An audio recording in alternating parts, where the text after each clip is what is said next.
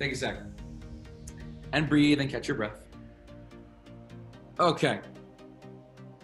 So, you guys did phenomenal. You absolutely did phenomenal. Like start to finish, from the first jog to the last second of the sprint, you kept moving. You kept challenging yourselves at every stage of the game, every crunch, all right, every touch and jump, everything you threw in there.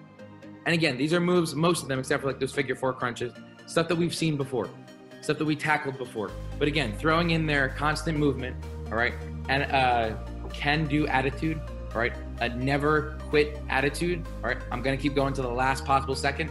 Those are the things that make the difference. And again, you look outside your window, the sun's not even up.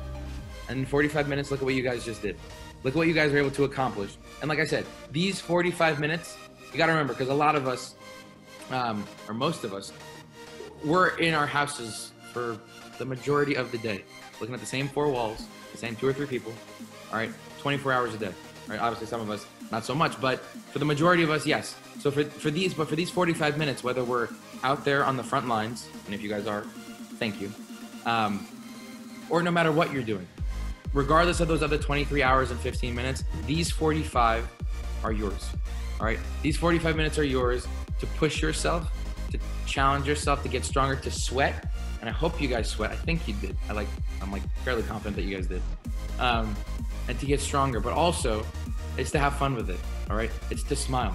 There's never going to be a class where myself or Ruth or any some, anyone here is not going to try and crack a joke or make you smile or make you laugh with something because feeling good like feels really good it's it's it's weird to say and it's like cheesy to say and it's silly to say but it's so true and we have to remember that every single day it feels good to feel good so why not find those things that make you feel good right find those things that you do that make you feel good that give you that fire inside that push that drive that passion stick to those hold on to them tight because those little things are going to get you through all the other big things. Just like these 45 minutes are going to get you through the 23 hours and 15 minutes now on the other side.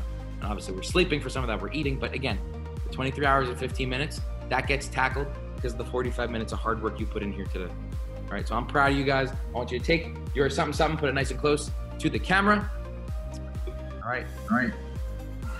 If Daisy wants to join, she can put her paw, but she looks like she's sleeping, so forget it. We're gonna put take it to the max on three.